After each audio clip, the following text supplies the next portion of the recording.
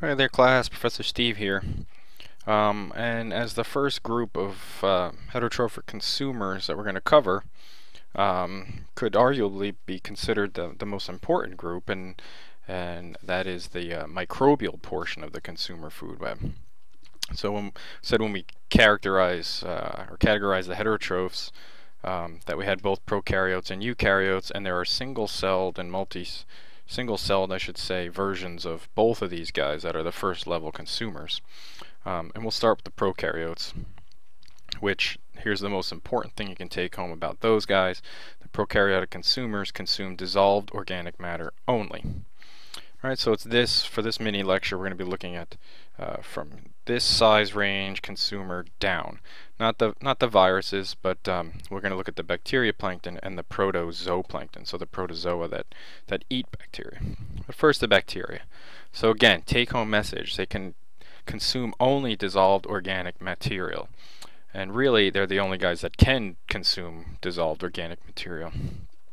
Um, but uh, basic classification, uh, for the most part free living single cells so they float around as single cells here. You can see a micrograph or uh, sorry fluorescent image microscopic image that I took of some fluorescing bacteria um, for the most part they're motile. some of them aren't. Some of them grow on surfaces. Some of them don't don't move around their, by their own volition but most of them do. And on scales of their body length it's unexpe unexpectedly fast. So if you put their speed in terms of human body lengths they would actually be much much faster than us. Um, on average in a in a in a clear uh, milliliter which is a cubic centimeter of seawater on average is about 10 to the sixth or 1 million bacterial cells floating around in in the ocean so there's a lot of bacteria and this is without this is before they even have a, a good growth spurt um, and 70 90%, 70 to 90% is estimated of all primary production um, eventually becomes a bacteria. And that's really because of this. The, the only things that can consume DOM, and ultimately everything ends up as DOM. So if we modify um, this uh, food chain diagram to, to suit this lecture for the bacteria, or the guys that consume only DOM, um, if you recall, we have these interactions between across a whole food web. They either eat each other or affect each other because of something that, that something down the food chain eats, whether it's a nutrient or, or all the way down the food chain. But in these interactions, and as these things grow and, and reproduce, they all produce dissolved organic molecules, whether that's, um, so when they consume each other, uh, we actually have a scientific term called sloppy feeding, and that is truly what we call it. But um, as they chew on each other, and I say quote unquote chew on each other because not everything physically chews, um, there is release of organic ma material as cells are broken open, as something's consumed and chewed on. Uh, we re release some dissolved organic matter, but they also have waste products, right? Everything excretes and has waste, burns energy, um, and produces dissolved organic matter in that way they also eventually all have to die. Right? Everything's got an expected life cycle, if uh, or uh, lifetime, uh, generation time, and if it hasn't been eaten by something, it eventually it's going to die, be decomposed, broken down into dissolved organic molecules. So that is to say that everything that consumes something else grows, reproduces, what have you. So every organism on Earth eventually ends up or or contributes to a global dissolved organic um, matter pool. The only organisms that can take that up are bacteria. Their cells are designed to have extracellular, which means on the outside of their cells, enzymatic activity, so that when these cells meet a, a, bacterial cell, they can break it down, internalize it, and grow and reproduce like crazy. Um, and that is the only way that dissolved organic matter gets mobilized. Um, uh, if if humans were to um, if humans were to uh, consume uh, dissolved matter directly, um, you just wouldn't be able to consume enough to support you. We have to eat large, compact, prepackaged things to make our living. Uh, same with most larger heterotrophs, like a fish.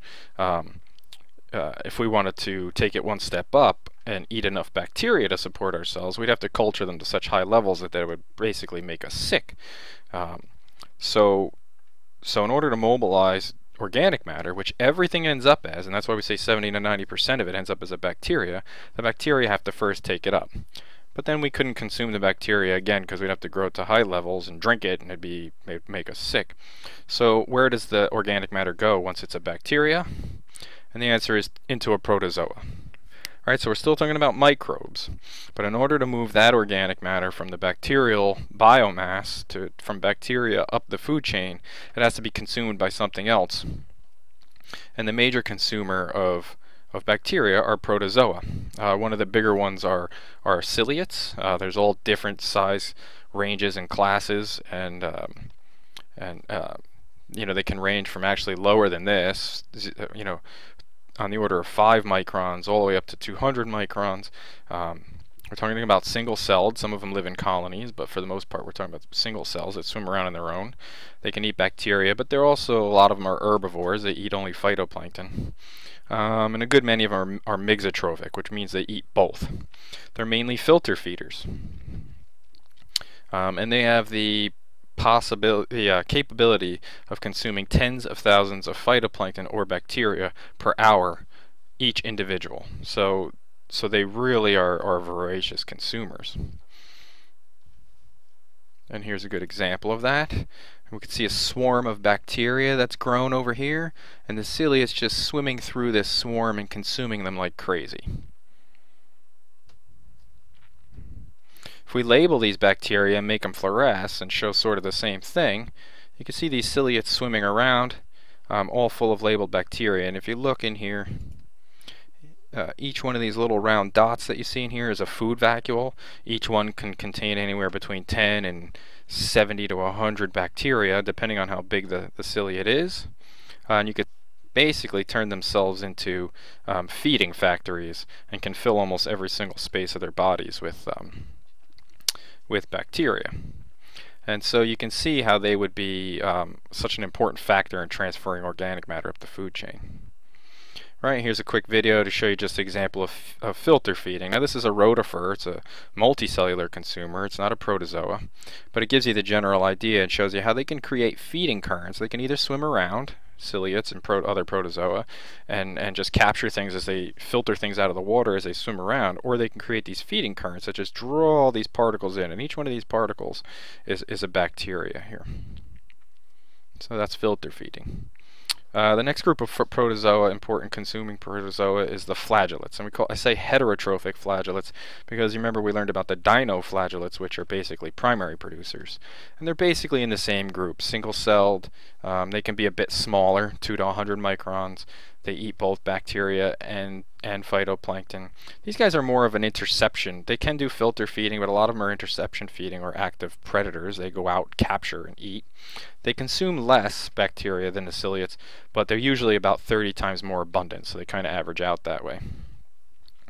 Uh, the next group, the next couple uh, types are both uh, different forms of another protozoa, um, and they're both types of amoeba um, so these amoebae, uh, foraminifera, or sh for short forams, they same thing. They can eat both. They can be both herbivores and consumers. A lot of them eat both. Um, but these guys are active predators, and they use calcium car. They make calcium carbonate shells, a lot like the phytoplankton coccolithophores. Um, and if you remember, that's important for sedimentation and sinking and making what we call ooze, which I didn't bring this up before, but that's kind of what we call the uh, biogenic um, sediments that are made mostly of shells of organisms. So along with something like a coccolith, they can make these calcium carbonate sediments. Um, another amoeba called radiolaria uh, make opal, or a skeleton made out of silicon, skeletons, just like the diatoms do. So this is these are kind of the heterotrophic counterparts to some of the phytoplankton, and they eat some of the phytoplankton. They make these shells, they stick out their gooey uh, tentacles in amoeba form to grab things, and these two can can sink, and so can diatoms to form sediments that are mainly made out of silica. So we'd call that a silica ooze or sediment.